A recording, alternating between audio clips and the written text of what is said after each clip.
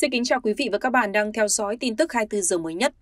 Thưa quý vị, chiều mùng 1 tháng 6 tại họp báo chính phủ thường kỳ, đại diện Bộ Công an đã thông tin về kết quả điều tra vụ án xảy ra tại công ty cổ phần tập đoàn Phúc Sơn và công ty cổ phần tập đoàn Thuận An. Đáng nói trong quá trình điều tra, công an thu giữ 300 tỷ, 2 triệu đô, 500 lượng vàng và hơn 1.000 sổ đỏ liên quan đến tập đoàn Phúc Sơn. Bộ Công an thông tin về kết quả điều tra vụ án tập đoàn Phúc Sơn và Thuận An.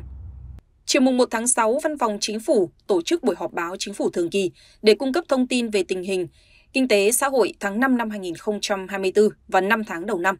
Bộ trưởng, chủ nhiệm văn phòng chính phủ Trần Văn Sơn, người phát ngôn của chính phủ chủ trì buổi họp, trả lời báo chí về tiến độ điều tra liên quan đến tập đoàn Thuận An và tập đoàn Phúc Sơn. Thiếu tướng Hoàng Anh Tuyên, Phó Tránh Văn phòng Bộ Công an thông tin, do tính chất phức tạp của vụ án, phạm vi liên quan nhiều địa phương, khối lượng công việc điều tra rất lớn, nên tại cuộc họp của Thường trực Ban Chỉ đạo Trung ương phòng chống tham nhũng, tiêu cực, thống nhất đưa hai vụ án này vào diện Ban Chỉ đạo theo dõi chỉ đạo.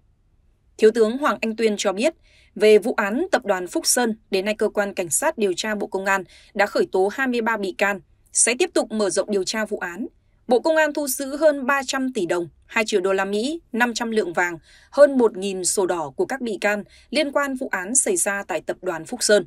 Hiện Bộ Công an đang củng cố tài liệu chứng cứ để mở rộng điều tra, thu hồi tài sản bị thất thoát chiếm đoạt. Đối với vụ công ty cổ phần tập đoàn Thuận An, cơ quan cảnh sát điều tra Bộ Công an đã khởi tố 8 bị can. Mới nhất, ngày 1 tháng 5 đã khởi tố, bắt tạm giam Bí thư tỉnh ủy Bắc Giang Dương Văn Thái về tội danh lợi dụng chức vụ quyền hạn trong khi thi hành công vụ. Với kết quả điều tra vụ tập đoàn Thuận An trong giai đoạn từ tháng 12 năm 2014 đến tháng 12 năm 2023, tập đoàn này đã trực tiếp hoặc liên danh tham gia trúng 32 gói thầu tại 16 tỉnh thành phố với tổng giá trị hơn 23.000 tỷ đồng. Nhất là giai đoạn 2022-2023, tập đoàn trúng nhiều gói thầu với giá trị trên 18.000 tỷ đồng. Đến nay, nhiều bị can đã khai báo thành khẩn, chi tiết, làm rõ bản chất vụ án. Bộ Công an kêu gọi những ai có sai phạm liên quan đến vụ án sớm trình báo để hưởng sự khoan hồng của pháp luật. Liên quan đến vụ tập đoàn Thuận An, ngày 15 tháng 4, cơ quan cảnh sát điều tra Bộ Công an ra các quyết định khởi tố bị can, lệnh bắt bị can để tạm giam, lệnh khám xét đối với Nguyễn Duy Hưng, Chủ tịch Hội đồng Quản trị Công ty Cổ phần Tập đoàn Thuận An về tội vi phạm quy định về đấu thầu gây hậu quả nghiêm trọng và đưa hối lộ theo quy định tại khoản 3 điều 222 và khoản 4 điều 364 Bộ luật hình sự năm 2015. Trần Anh Quang, Tổng Giám đốc Công ty Cổ phần Tập đoàn Thuận An về tội đưa hối lộ, quy định tại khoản 4 điều 364 Bộ luật hình sự. Nguyễn Khắc Mẫn, Phó Tổng Giám đốc Công ty Cổ phần Tập đoàn Thuận An về tội danh vi phạm quy định về đấu thầu gây hậu quả nghiêm trọng, quy định tại khoản 3 điều 222 và đưa hối lộ quy định tài khoản 4 điều 364 Bộ luật hình sự năm 2015.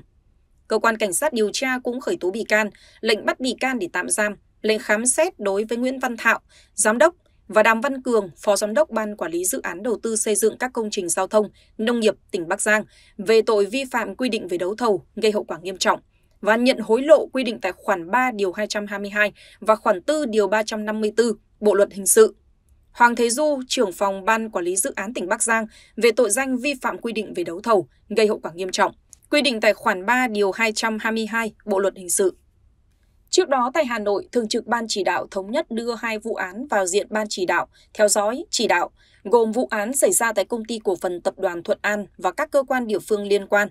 vụ án xảy ra tại công ty cổ phần tập đoàn Phúc Sơn, công ty cổ phần đầu tư thương mại và bất động sản Thăng Long và một số cơ quan địa phương liên quan.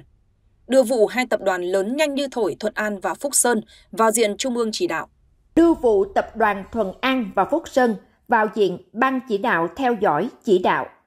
Sáng 30 tháng 5 tại Hà Nội, Thường trực Ban Chỉ đạo Trung ương về phòng chống tham nhũng tiêu cực Ban Chỉ đạo đã tổ chức cuộc họp để thảo luận cho ý kiến. Đối với kết quả chỉ đạo xử lý một số vụ án, vụ việc tham nhũng tiêu cực từ đầu năm đến nay. Về một số kết quả nổi bật, Thường trực Ban Chỉ đạo đánh giá từ đầu năm 2024 đến nay, các cơ quan chức năng đã có nhiều nỗ lực cố gắng thực hiện nghiêm kết luận của Tổng bí thư Nguyễn Phú Trọng, trưởng Ban Chỉ đạo và kết luận phiên họp thứ 25 của Ban Chỉ đạo – tiến độ điều tra xử lý các vụ án vụ việc thuộc diện ban chỉ đạo theo dõi, chỉ đạo cơ bản hoàn thành theo kế hoạch của ban chỉ đạo, có việc vượt yêu cầu đề ra.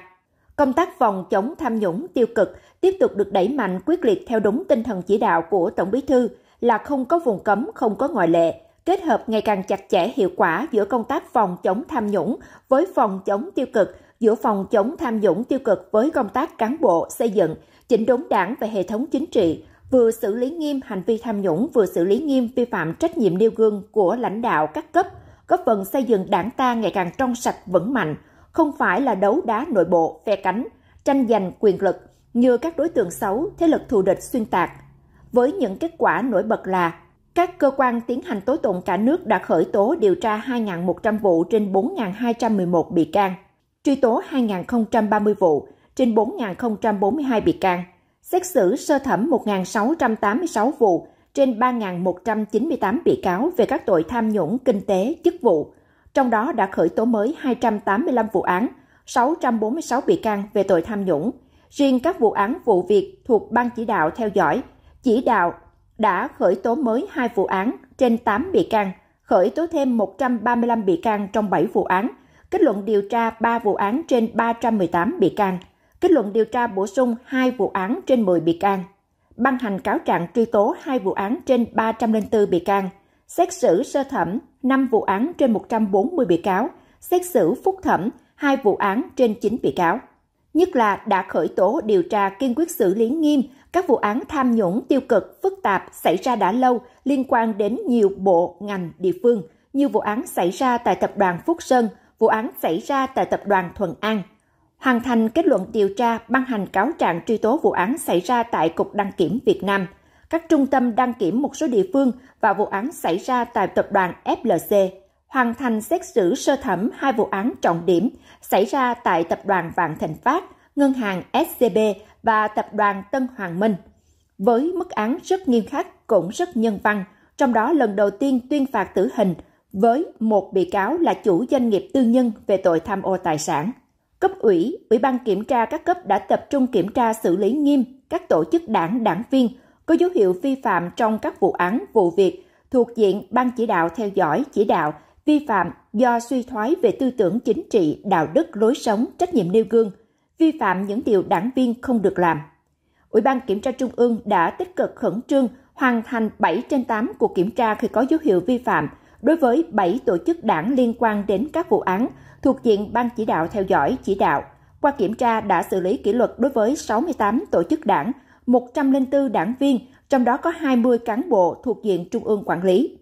Chỉ đạo đôn đốc 68 cấp ủy tổ chức đảng tiến hành kiểm tra 830 dự án gói thầu liên quan đến công ty AIC. Đến nay, 60 trên 68 cấp ủy tổ chức đảng hoàn thành việc kiểm tra đối với 782 trên 830 dự án gói thầu. Qua kiểm tra, đã xử lý kỷ luật 65 tổ chức đảng, 127 đảng viên, chuyển cơ quan điều tra 26 vụ việc có dấu hiệu tội phạm. Tăng cường công tác thanh tra kiểm toán các lĩnh vực dễ phát sinh tham nhũng tiêu cực và chuyên đề vụ việc theo yêu cầu của Ban chỉ đạo, Thanh tra Chính phủ đã tiến hành 7 chuyên đề vụ việc theo kế hoạch của Ban chỉ đạo. Đến nay đã kết thúc quá trình thanh tra, đang xây dựng hoàn thiện dự thảo kết luận thanh tra đối với một chuyên đề, một vụ việc. Kiểm toán nhà nước đã hoàn thành kiểm toán hai vụ việc theo kiến nghị của đoàn kiểm tra của Ban chỉ đạo. Kiên quyết xử lý trách nhiệm chính trị của người đứng đầu, xử lý vi phạm trách nhiệm nêu gương, vi phạm quy định về những điều đảng viên không được làm – trên cơ sở đó, khuyến khích cán bộ tự giác nhận khuyết điểm, chủ động xin từ chức, xin thôi chức vụ khi thấy mình không còn đủ điều kiện năng lực uy tín, thể hiện sự nghiêm minh, công bằng, nhưng cũng rất nhân văn, đưa việc có lên, có xuống, có vào, có ra, dần trở thành văn hóa. Việc làm bình thường trong công tác cán bộ được dư luận cán bộ đảng viên hoan nghênh, đồng tình cao. Công tác thu hồi tài sản trong các vụ án, vụ việc thuộc diện Ban chỉ đạo theo dõi chỉ đạo tiếp tục được quan tâm. Riêng các vụ án thuộc diện Ban chỉ đạo theo dõi chỉ đạo, giai đoạn thi hành án dân sự đã thu hồi được gần 7.500 tỷ đồng, nâng tổng số tiền thu hồi được từ khi thành lập Ban chỉ đạo đến nay lên hơn 85.000 tỷ đồng. Công tác phát hiện và xử lý tham nhũng tiêu cực ở địa phương tiếp tục được đẩy mạnh. Từ đầu năm đến nay, các cơ quan tiến hành tố tụng ở địa phương đã khởi tố mới 190 vụ án trên 463 bị can về tội tham nhũng, nhiều địa phương đã khởi tố điều tra xử lý nhiều vụ án tham nhũng tiêu cực nghiêm trọng, phức tạp, xảy ra từ nhiều năm trước, khởi tố cả cán bộ thuộc diện tỉnh ủy, thành ủy quản lý như Bà Rịa Vũng Tàu, Bình Định, Bắc Ninh, An Giang, Kiên Giang. Về nhiệm vụ thời gian tới, Thường trực Ban chỉ đạo yêu cầu các cấp ủy tổ chức đảng, cơ quan chức năng tiếp tục đẩy mạnh hơn nữa công tác phòng chống tham nhũng tiêu cực, tập trung xử lý dứt điểm những vụ án vụ việc tham nhũng tiêu cực nghiêm trọng, phức tạp, dư luận quan tâm. Nhất là tập trung kiểm tra, thanh tra, điều tra, xử lý dứt điểm các vụ án vụ việc liên quan đến tập đoàn FLC, công ty AIC, tập đoàn Vạn Thịnh Phát, dự án Sài Gòn Đại Ninh Lâm Đồng, tích cực phối hợp chặt chẽ trong truy bắt, dẫn độ bằng được những bị can, bị cáo bỏ trốn ra nước ngoài về nước để thi hành án và xử lý nghiêm theo quy định của pháp luật. Phấn đấu từ nay đến hết năm 2024, kết thúc điều tra truy tố xét xử 36 vụ án, 8 vụ việc. Trong đó phấn đấu đưa ra xét xử sơ thẩm đối với 6 vụ án trọng điểm, theo kế hoạch của Ban chỉ đạo. Cũng tại cuộc họp này, Thường trực Ban chỉ đạo thống nhất đưa hai vụ án vào diện Ban chỉ đạo theo dõi chỉ đạo gồm vụ án xảy ra tại công ty cổ phần tập đoàn Thuận An và các cơ quan địa phương liên quan. Vụ án xảy ra tại công ty cổ phần tập đoàn Phúc Sơn, công ty cổ phần đầu tư thương mại và bất động sản Thăng Long và một số cơ quan địa phương liên quan.